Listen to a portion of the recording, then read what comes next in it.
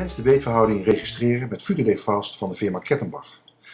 Dit doet u door de patiënt eerst rechtop te laten zitten, daarna de juiste beetverhouding te oefenen. Materiaal bijvoorbeeld bucaal aanbrengen in een gesloten beet. Er is hier gekozen om dit zowel links als rechts te doen en om met een gele in plaats van een groene mengtip te werken. Dit kan alle twee. Middels de wangen kunt u tijdens de verwerkingsperiode het materiaal nog vormgeven. Met FutureD Fast heeft u na uitname een nauwkeurig hulpmiddel voor de juiste beetverhouding.